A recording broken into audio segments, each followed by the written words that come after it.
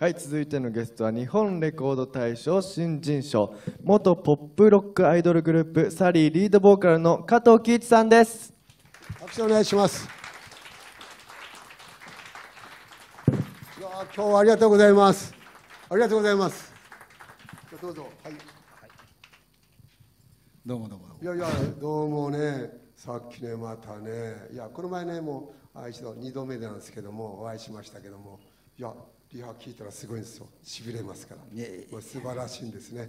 ということではい。今日はあのねあの相棒のマイバディを、えージャンベを叩いてくれる相沢雄三を、はい。えーどうも。よろしくお願いします。はい、よろしくお願いします。どうもどうも。なんか喋らないですよ。なんか喋ってマイいやいやク離されていやいや言ってましたけど。あのまあ喋ることもねえしなって上でちょっと。いやいや。まあそういう切り口からね。べり出すともう止まんないんですよ彼は、いやでもね、いやすごいんですよ。もうね、えー前ねあのおレコード大賞新人賞を取られて、そのまた仲間がすごかったですね。今活躍してますよね。えっ、と同期の方は誰だあ。あーもうもう本当にもう昔のもう30年ぐらい前の、ね、あ30年前ですか？はいはいうんあのな吉川君と吉川浩司あ、吉川浩司さんですねあ。と亡くなってしまいましたけど岡田由紀子さんとか彦さんとかですね。あとね一世風靡一世風靡さんもいましたね。あの頃、あの頃新人賞を取るって大変じゃないですかね。そうまだだちょっとあれ語弊はありますけど、まあ、あの頃はまだちょっとそういう賞とかってね、ああいうのがこうステータスがはいあった時代だったんで、あーなるほどねそのありましたね時にねあの、取れたのはすごいありがたかったと思います。ああなるほどですね。はい。ということでね、またそれからあのーまあそれからじゃなくて、はいちっちゃい時ってどうだったんですか？え？ちっちゃい時の。ちっちゃい時ですか？うんなんかはい。ちっちゃい夢とかなんかありました？ありましたか？なんかやりたいという音楽じゃなかったんですか？僕ですか？はいやまああのマグロになりたかったです。い。マグロ？はい。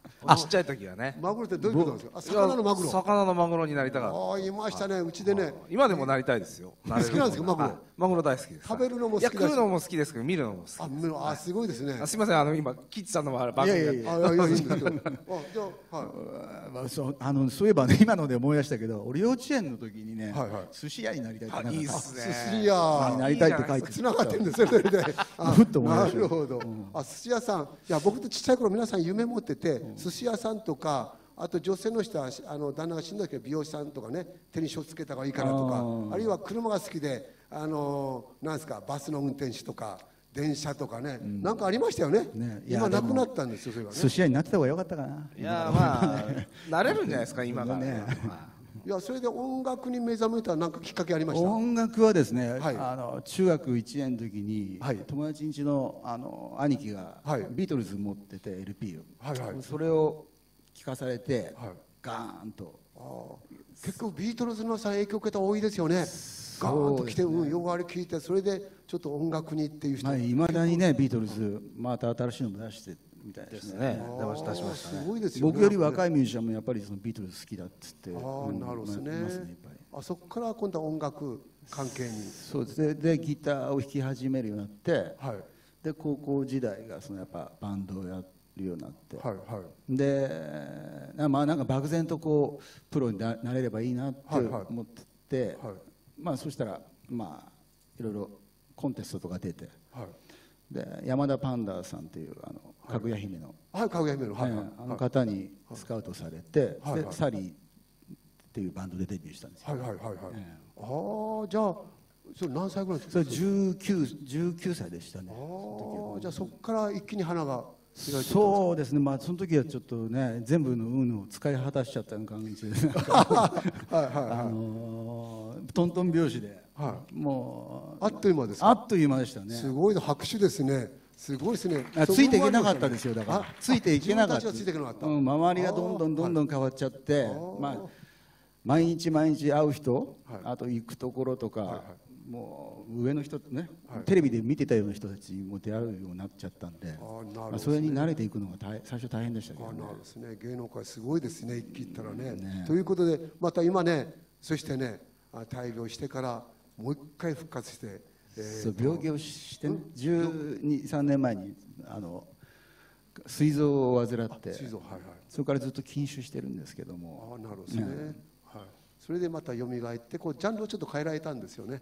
うんいやもともとはまあそのブルース。ブルースとか好きだったんですけどね。ああ今ブルースね。まあ、そのブルースをベースにして、あのようやくなんかそういうのが分かり合える人たちと一緒に今活動できてるんで。じゃあ音楽を聴きましょうかね時間あれですから。じゃあねすあのねはい、ちょっと宣伝をしたかったあいいですよ宣伝。はい。あれ何か、はい、あの CD を売ってきてたんで。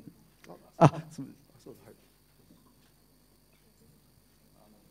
去年作ったんですけど、はいはい持ってえっとピュアグラスという、はい。ピュアグラスというねあの CD ピアグラスですね。はい CD えー今あのネットや、はい。あとエアプレーンレーベルっていうところでも、あの販売ささせていただいていますしあとタワーレコードとかにも貸してもらっててるんであるんですね、ええはい、あの結構何曲も入ってーますね、ええそれでこれであ10の、曲。はい。えーキャロルの元キャロルの内海俊勝さんってあの方もう大先輩なんですが、えー今今一緒にライブもやらせてもらってるんですけど、ねえーあの僕もととてもリスペクトしてるミュージシャンで、えー何曲かあのギター弾いてもらってますんで、えーなんかねす素晴らしい、あのーバンドの方組んでねやってらっしゃるんですよ。やんちゃバンドみたいなのね。やんちゃバンド。なんかそんな感じですよ。なんかね。それは金太郎さんが書いたんじゃない？ですかそうですね、書いてましたね、うん。ということで、ね、これ入ってます。今日もなんか持ってきてらっしゃいますよ、なんかね、じゃあ。あこ何枚かあのということで、これいくらおいくらなんですか？えっと一応2500円で販売しております。2500円、特別会場に来た方は、なんかもうちょっあと安くもうじゃあ2000円で今日は。2000円、やった、サイン付きです。サイン付き、ああなたが買うんですよ。ね、ということで、じゃあ、その音楽聞きたいですよ、皆さん。いいですか、聞きたいですね。ということで、行きましょうか。後でこれを、はい、置いてきます。はい、よろしくお願いします。はい。ということで、準備しないですね。ということで、これを。じゃあマイクはこっちがいいですかね？こっちは。はいそうですね。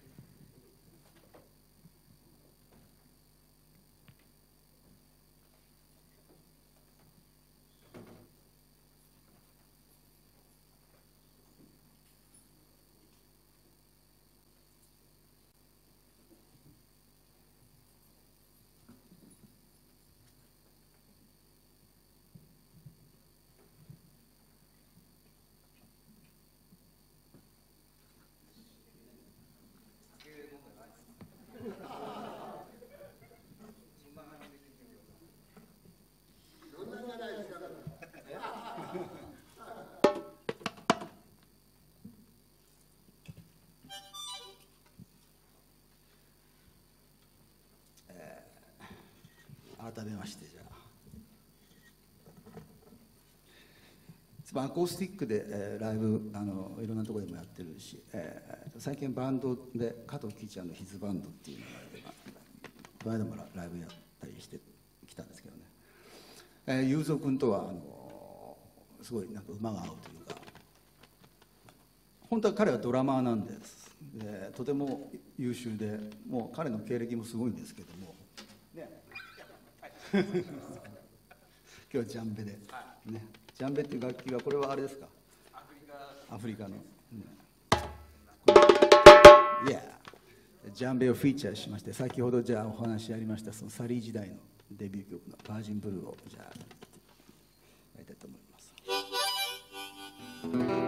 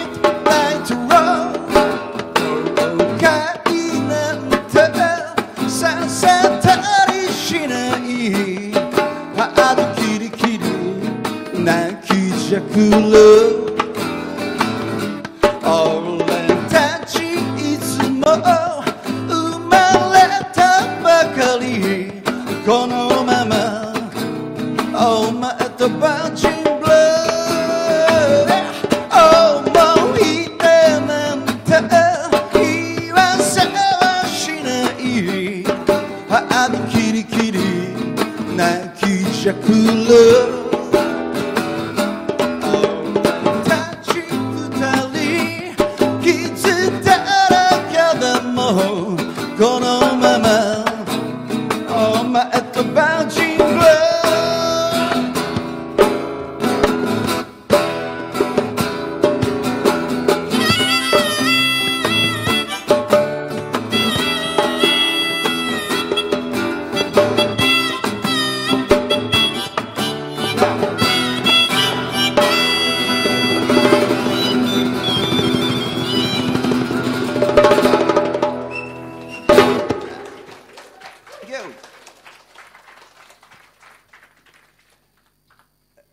曲、えーピュアグラスの中から、えー。そうさっきさっきも、ね、言いましたけどこう禁酒歴がもう12年になって、えーそれまでは散々お酒飲んでたんですけどね、えー体壊してから。で禁酒したらあのそれまで全然好きじゃなかった甘いものがあのスイーツが大好きになっちゃったんで。本当なんですよね。なんかやっぱ甘いもの糖分があのも求めもん？ね。そういえばさっきあの川村先生に僕もあの片頭痛があったのであの貼ってもらったんですけど、えーちょっと効いてるみたいです。今日は。ちょっと片頭痛があったんでここにこれシミじゃないですよ。これシシもう50なんで。でその、えーお酒をやめて、えースイーツを好きになって、えーまあ人生いろいろありますけれども、まあね、毎日いいいいこともあるし悪いこともあの悲しいこともありますけど、まあそういう時は、まあ、パフェでも食べて、えーね元気になりましょうっていうそういう歌を、えー歌ってますパフェ食べ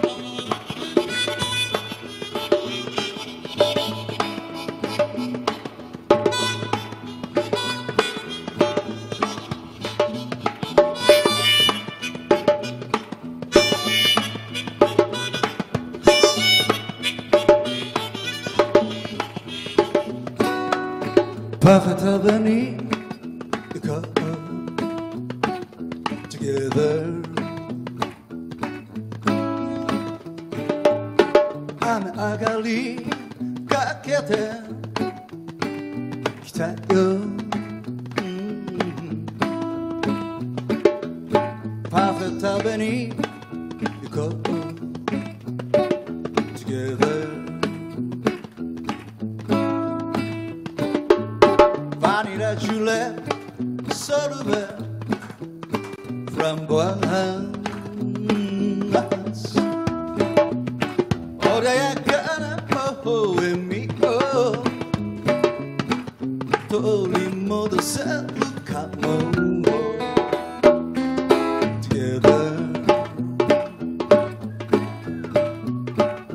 Together パフェ食べに行こう Together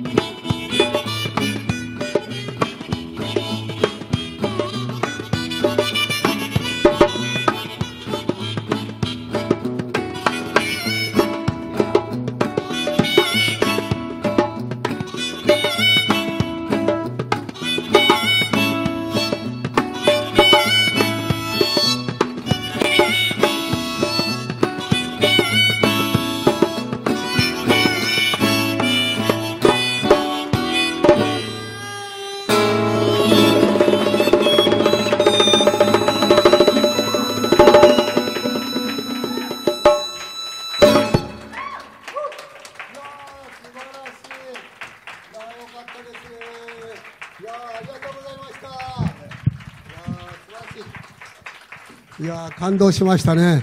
ありがとうございます。ということで、もう時間もね、ちょっとないもんで、ちょっと皆さん上がってくださいね。はい。はい、どうぞ。これ片付けを、はい、こっちね、マイク取って。どうぞどうぞ。はい。どうぞどうぞ。はいどうぞ、こっちマイク取って。はい、どうぞ。はい、先生もマイク。はい MC の子、マイマイク一番下の三号ね。どうぞどうぞ。どうぞどうぞ。どうぞどうぞ前に。どうぞどうぞ。こにちょっと広がってこう入ってください。皆さん入ってくださいね。先生も入ってこう入ってください。どうぞどうぞ。今日はありがとうございました。もう時間もないもんですからね。えー、と次はあの最後、えー、12月20日また素晴らしい方が出ますから今日はありがとうございました。